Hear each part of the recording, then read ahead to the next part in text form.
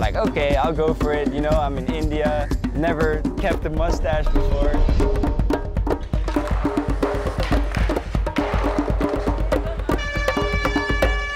You know, like every time as a skater, you're always changing. And, and then like to actually see these guys see something where I was just like, yeah, that's just, uh, you know, a thing to stop your bike from going there. And then that becomes a spot that they session for three hours. And I, I was like, oh, damn. I had no clue. And Jaakko is such a tech skater, dude. Like, he's technically like a hacker. I think he's like a skateboarding hacker where he has all these things in like a code and he just has to enter that code and that trick is there on demand.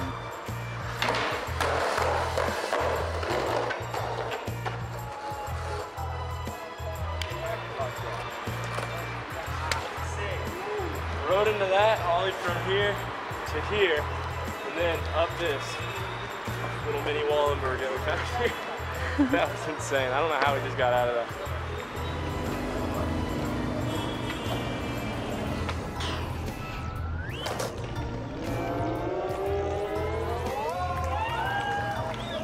Word spread that we were here, and uh, they wanted a little demo at one of the schools, and we thought that'd be pretty cool because I mean, what better way to spread skateboarding in India than to show kids what it's all about?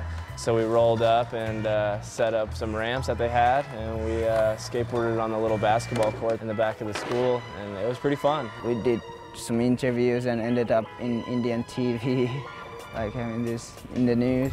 For international skaters from across the globe, the skaters demonstrated their best skating techniques to the youth. I think it was a small uh, news station, which was pretty funny. The questions were pretty pretty spot on with what you don't want to be asked in an interview as a skateboarder. If uh, I think skateboarding allows you a certain type of freedom, if, if that's what you're drawn to, then, then you should definitely be a skateboarder.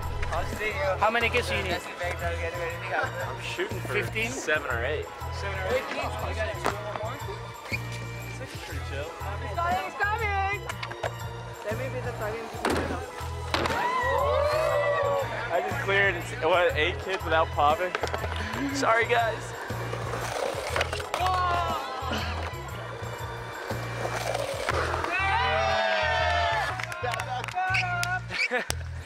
yeah.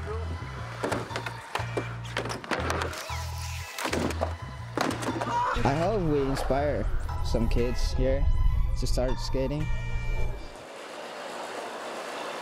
The only thing that people believe that there's a future in, in possibility of making money and trying to sustain is just cricket. And cricket's pretty much killed all other sports. It's super hard to break a, a system that's already in place. Just seeing the progression of skateboarding in the past five years, like we had one park for four years. That was the only place you were allowed to skateboard. And now we have four parks in, in the past year, you know.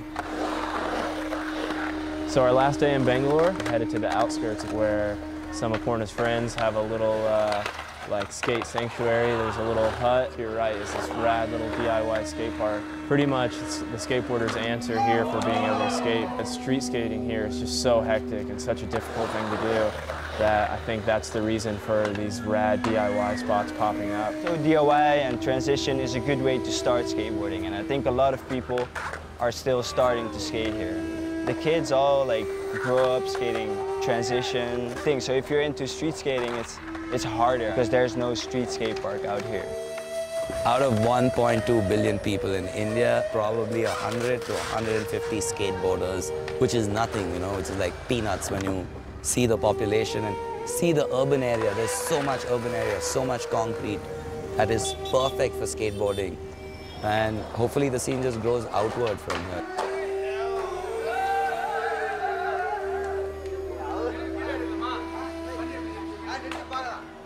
On this trip, our mission was to explore the three biggest cities in south of India, Goa, Bangalore, and Chennai. We are in Chennai. Just came down some random roads to try and look for a few spots. And you find one thing where there's no one around, and by the time you've tried three times, there's a full-on audience. This area is by far the most hectic we've been in, I think. Bangalore, it was hectic, but in a different way. People were kicking you out, trying to get rid of you from skating a spot. Here, people are so obsessed with the skateboard and you can't even try the trick because someone is already grabbing your board and they're trying to learn how to push and they're already halfway down the street.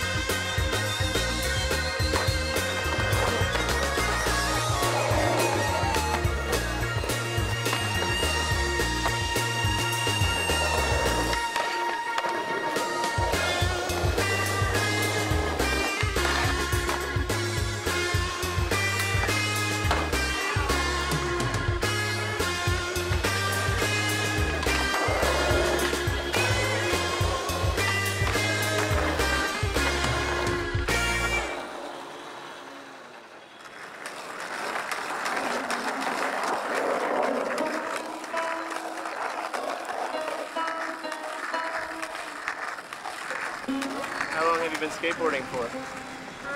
Um, Four years? How old are you? Seven. So you've been skating since you were three years old. Yeah, what's your favorite trick? Reckon. Rock and roll. Yeah, it's a good one. Coolest name for sure.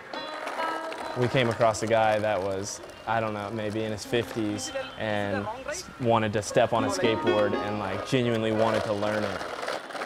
Came from the office just for a walk actually. I am working for a bank, work for an HDFC bank actually. Everything is balance is more important. No, ah, it's uh, it's now it's picking up. Uh, It's not that much popular, but here people don't support all kind of things. People here only one thing is game is only the cricket.